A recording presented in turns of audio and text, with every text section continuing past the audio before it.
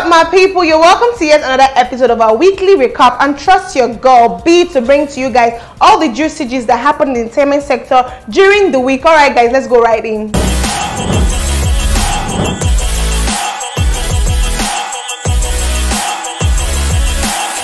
On the international sector, Kendall Jenner and Bad Bunny were spotted arriving to and eventually leaving dinner last night. The two seemingly attempted to give the illusion of living separately, but the paparazzi were paparazzing. Kendall is working with her sister Kylie by her side, the Puerto Rican superstar Bad Bunny directly behind them with security on deck. Moving on, Michael B. Jordan says Drake is the greatest rapper of all time and anyone who thinks otherwise can come fight him. Yes, he's ready to throw hands. Congratulations to Rotimi and his wife Vanessa Mdee on the birth of the second child together and it's a baby girl guys.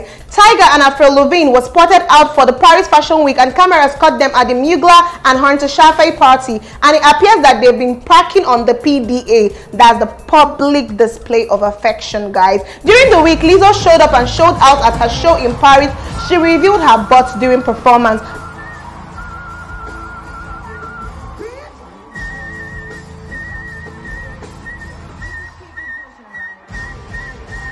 Lastly, Hailey Bieber shares her excitement as she shows off her new Little Mermaid doll which captures her version of the iconic Disney character, the role she played for Little Mermaid.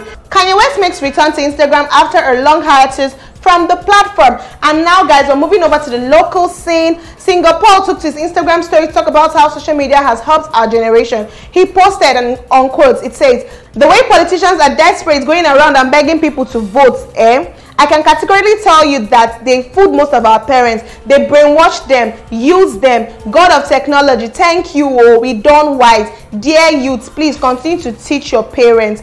After Yhemolee tells federal government not to bother and count us after it revealed that it needs 869 billion naira to conduct census.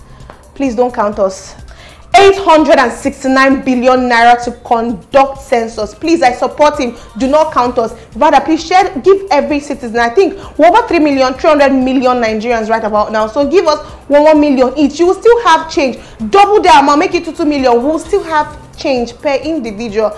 I don't know what where we went wrong with our choice of leaders, but God will help us. And with that, guys, we've come to the end of this beautiful episode. If you're not yet following us on social media handles, do so right now. Yes, you, I'm talking to you. On Instagram, we go by e.com underscore official. For Facebook and YouTube, we go by e.com official. And for Twitter, we go by edotcom01, all in lowercase alphabet. I remain your favorite girl, B. I love you guys. See you guys same place, same time next week.